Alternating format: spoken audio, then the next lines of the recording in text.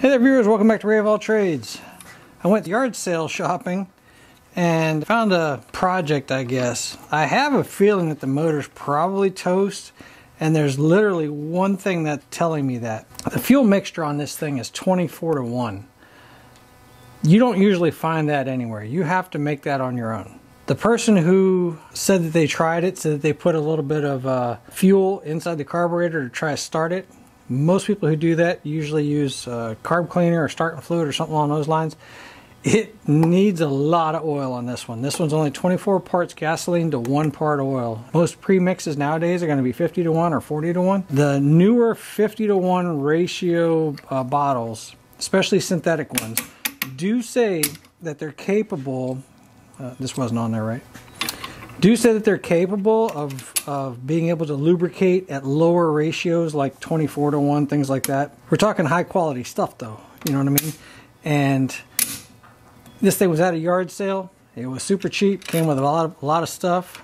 Not really sure what i'm going to find but i thought it'd be a cool game try to figure out. I really don't need a tiller but if I get it running, hey, great. If I do get it running, it says 24 to 1 here, it says 24 to 1 here, but I'm probably going to make a giant label that says caution 24 to 1 ratio on the premix. Let's see what we got. Well, there's uh doesn't appear to be anything inside there. We'll turn it over. Keeping in mind when it's uh, 24 to 1, it's a two-stroke motor. It's utilizing there's no there's no oil in the sump. It's utilizing the oil that's inside the gasoline to lubricate the motor.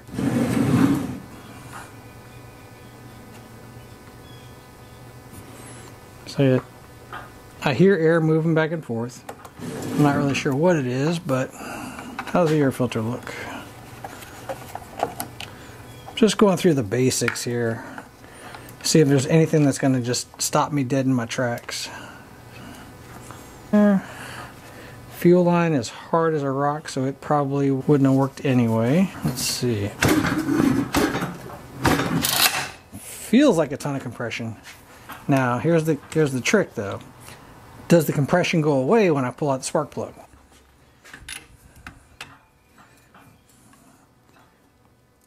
Because if you still got tons of compression after pulling out the spark plug, that means that it's not really compression and scored. The plug doesn't look terrible, it doesn't have a whole lot of stuff on it.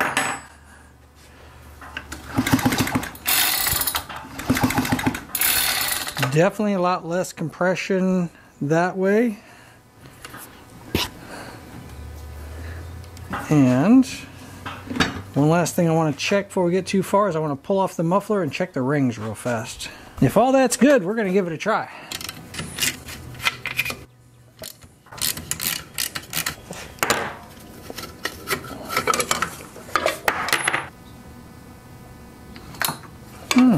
That might not be bad. Let me get a flashlight so you guys can see too. Um, this is a two stroke, right? So it doesn't really have an exhaust valve. What it has is when it comes through that second stroke, it's actually pushing the exhaust out of here. So what you're going to see is you're going to see the piston and you're going to see rings coming past. All right, so there's the rings right there. So those black things right there. And we're looking for significant scoring, like engraved lines going up and down.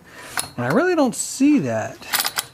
You have to be cautious of, is it oil? Making a line coming through there or is an actually uh, a scored mark. This thing might actually be okay. It's got a lot of carbon and it's really coked up, but since it runs 24 to 1, it's possible they were doing it right.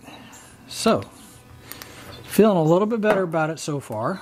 I'm to go ahead and put this muffler back on. I like to check those things when I remember. On a two-stroke, just check to see if it's scored right off the bat because uh, for myself, what usually occurs is I'll start getting really far into it. I'll start throwing gaskets and time and effort, energy, all this other stuff, parts into it before I realize that I never checked to see if the motor is even worth saving. Right now, I've got the warm and fuzzies that it's probably worth saving because on the exhaust side anyway, it's not really scored up, meaning nobody straight gassed it or ran it, you know, um, with the wrong mixture. Let's check and see if it has spark. Let's see if I can do this. It appears to be the ignition switch is right here, so that's the on, that's off. Let's turn that on. And let's see if either this sparks or I jump, one of the two. I gotta get turned around.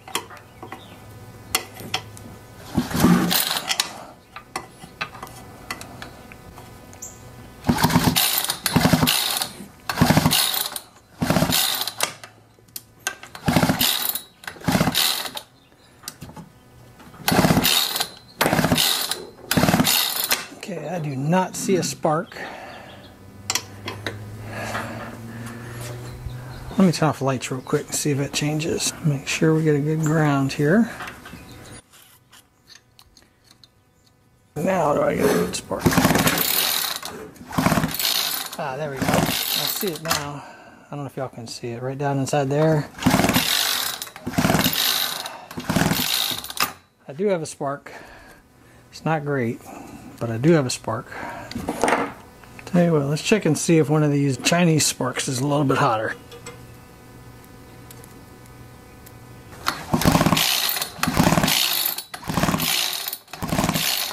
Yep. That was at least got a blue spark coming out of it. So let's try that one.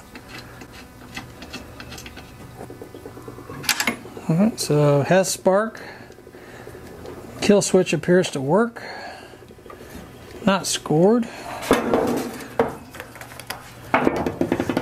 I am not a proponent of this TruFuel, but my local hardware store had this one gallon container on sale for uh, five bucks. And it's the wrong mixture. This is 40 parts per gas per one part of uh, oil. So even this is too much. We're just going to give it a try, just a little bit, just to see if it runs.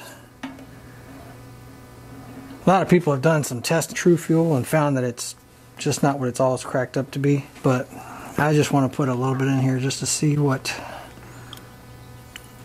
what happens. I anticipate that if it starts up that the thing's going to start spinning so I need to keep a handle on this.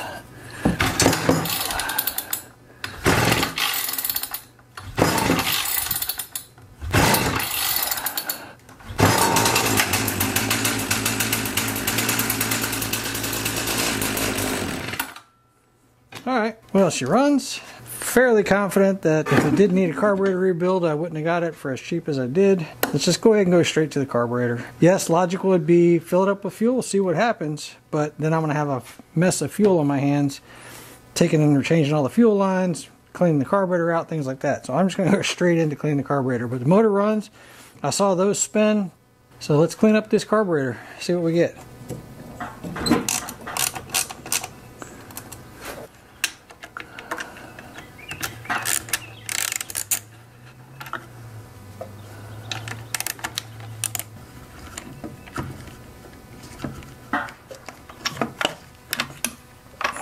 Manifold black block on the back side of the carburetor.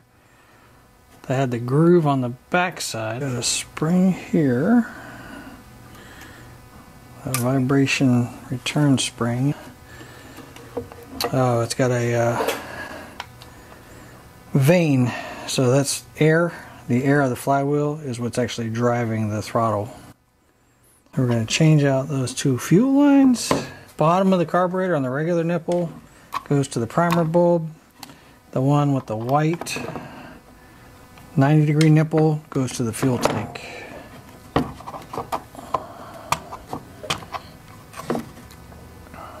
Okay, there's that one. That's the impulse hole. Lines up with that. There we go. I'll get that screw out of there.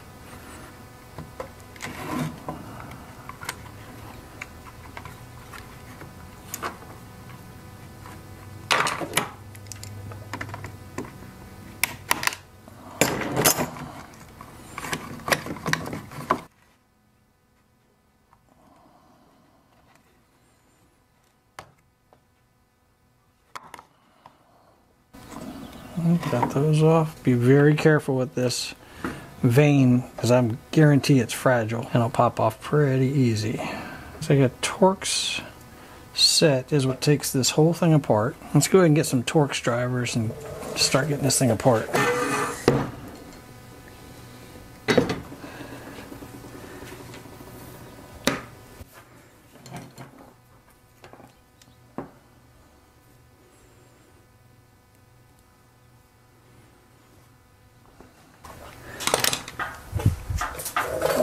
see, that's a 10. Here's an 8. There we go. 8 fits pretty well. Come on. I really, I'm only pulling this part off because I don't want to break it.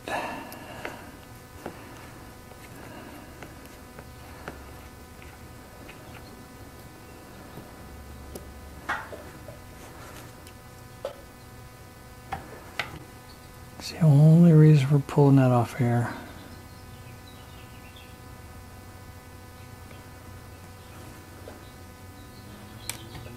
And it's keyed, so it'll actually only go back one way, which is good. All right, let's get this thing apart. That one was loose. Not a good sign. That one was loose. Not a good sign. Probably because of all the vibration of this thing. That was snug.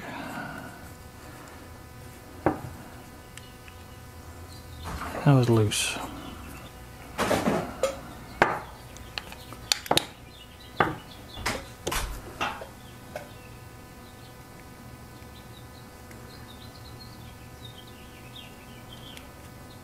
Gaskets are oriented properly, at least on this one.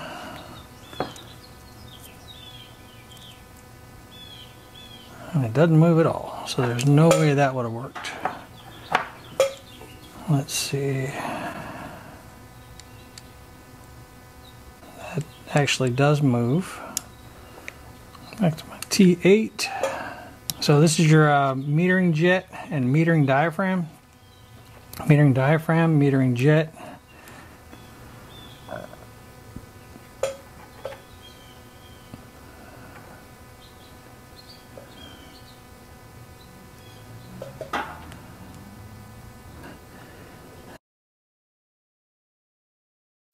So that side not terrible gaskets again are correct on this one, on this side.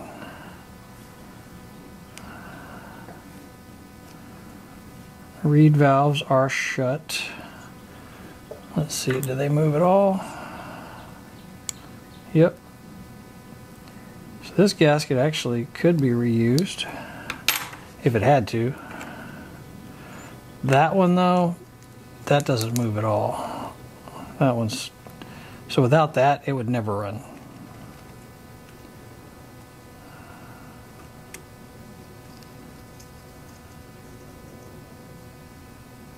Okay, and then this right here, that's your fuel pump, is what they call that. Pulls fuel from the fuel tank and into the carburetor, and it waits to be pulled in on the other side to that uh, metering jet. All of this is going to go in the ultrasonic cleaner, and let's see what happens. Let's put carburetor. Oh. Almost made a mistake. I'm going to put that in there um, because I want to pull that gasket off of it. Because I might need to use that gasket. And let's throw the jet in there as well. Or the needle in there as well. Um, that block has it's a clear passage that doesn't need to be cleaned. Okay. Let me get this in the ultrasonic cleaner and get it kicked off. I'll catch up with you guys in a minute.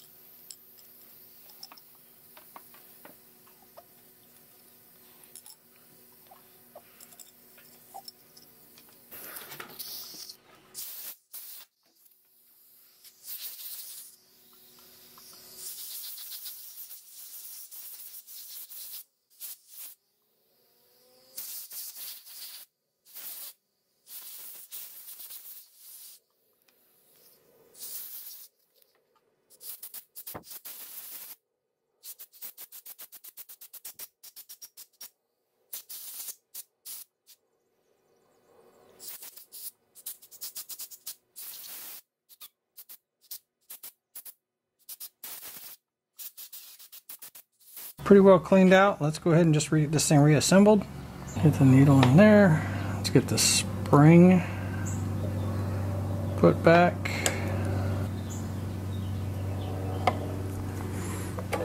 Let's see if this helps you guys. Maybe me too. Let's get the spring put back.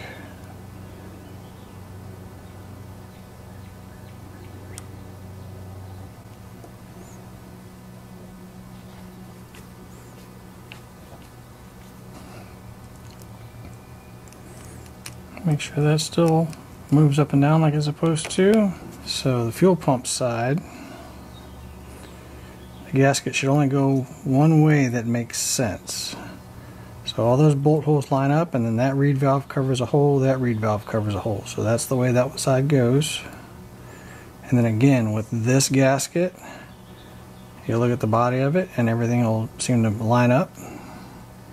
For me, I have lines on here that are kind of telling me which way they go.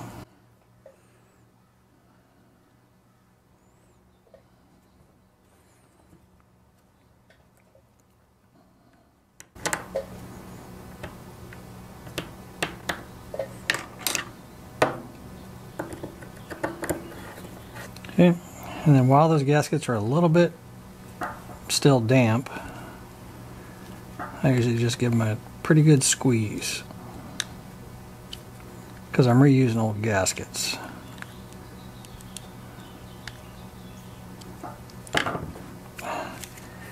Will that one work?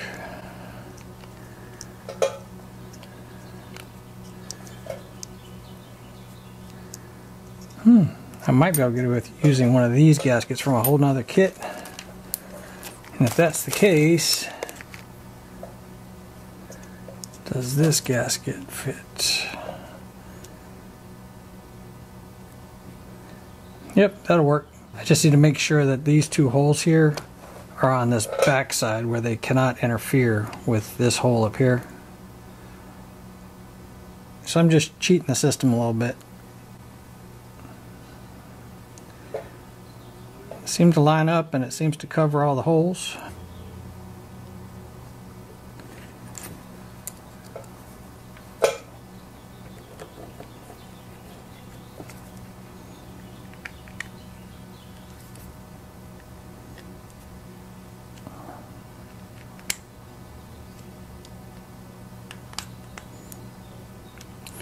That ought to work.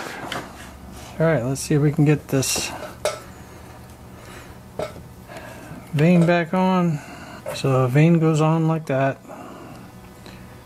So it basically sticks out, goes to the side once it's closed. Small T8 to anchor it in place.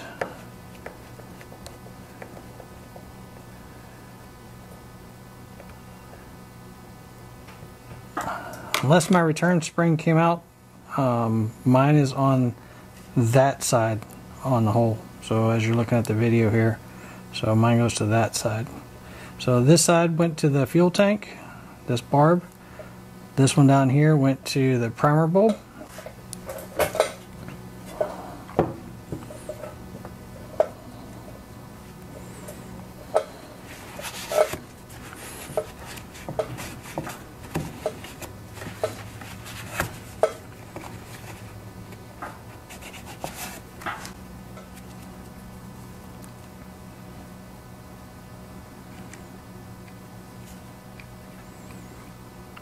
o-ring gasket back in place.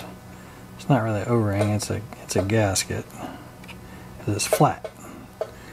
Right? shape of an O, but it's flat, so which means it's a gasket. Let's see, this should be going like that. Let's see, so this used to go that was like that. And this one had a different angle. So let's get that those two fuel lines cut and get them back installed.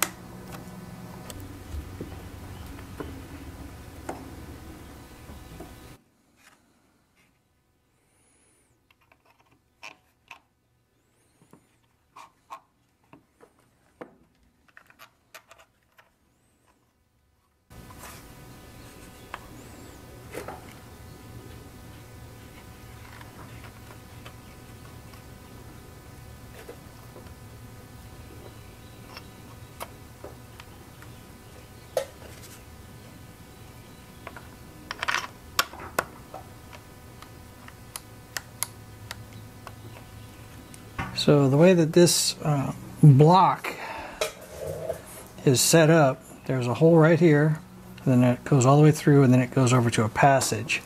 On here, there is a hole here that comes over here to this passage looking thing. So we know that that block goes on the upside, kind of like that, right? And it comes in that passageway, comes over, and then reaches over to here. So the way they've got it set up is something like this. So that hole there lines up with that hole there, just like that. I'm going to attempt to hold this together. What I'm, what I have to do is get this vane to go back up in here. It should, there's nothing to stop it, so it should go right up in there. And then once I'm done, I'm going to be hooking up this spring, just like that. So let me see if I can get, you know, four hands into a spot that only takes one and a half sets.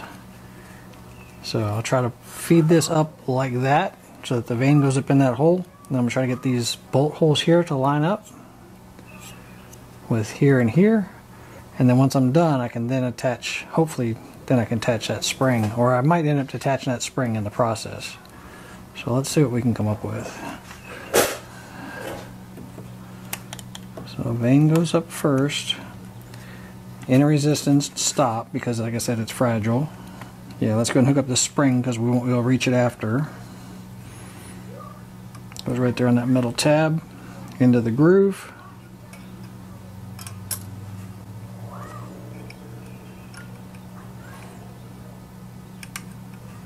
Whoops, I also have to get that hooked on first. And then we're going to try to move all that back together. That's convoluted. Yep. It's crazy. This is Tecumseh engine. They're usually pretty good about designing stuff.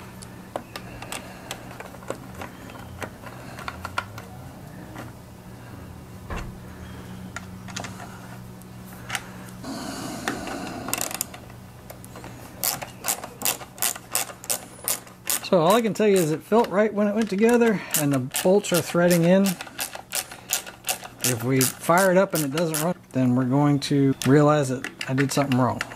So let's see what we got.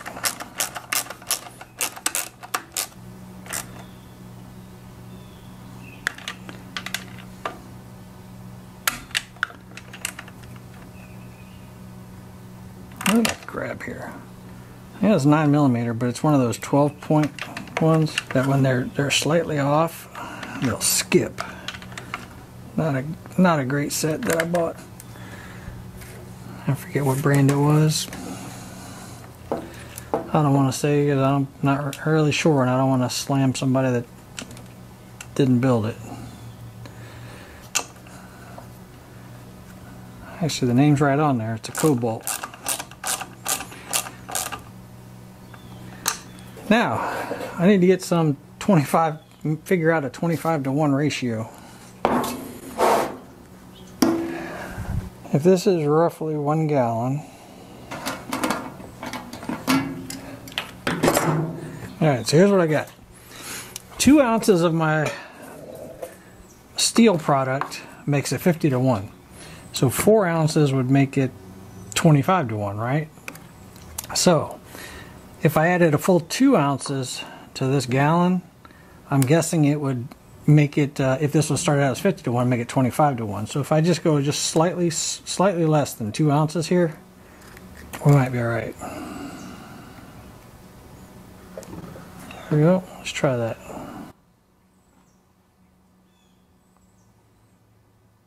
I said I'm way overthinking this because they're saying that uh, even the new 50 to 1 premixes can handle a 25 to 1. And where that comes from is a lot of these uh, Chinese chainsaws that they're building are coming in and they're saying that it requires a 25 to 1 to run. And a lot of people are just running 50 to 1 and not having any problems. So the 25 to 1 for the old stuff used to go back to if you used 30 weight oil as your premix Nobody does that anymore. Everybody does this.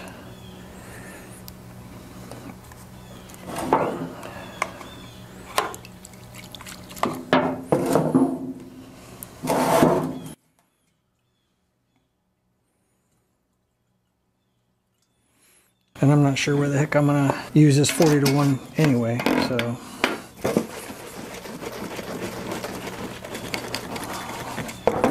What we can do though is just do that and say it's 25 to 1. I mean, it's on the can, so it's got to be true, right? Anyway. Let's see if I can get some fuel in this thing without making a giant mess.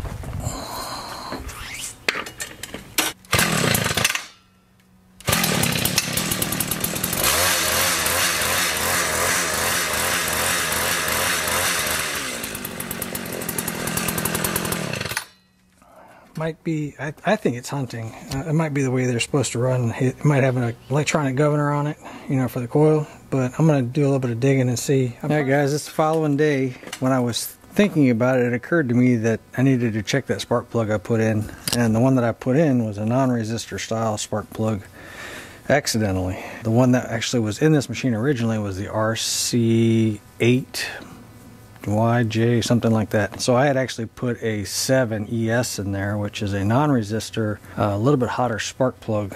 So I put the original one back in, even though it didn't look that great. I just want to see what it look, how it runs with that original plug back in it. Like I said, following day, let's see what we got here. Give it a couple squirts.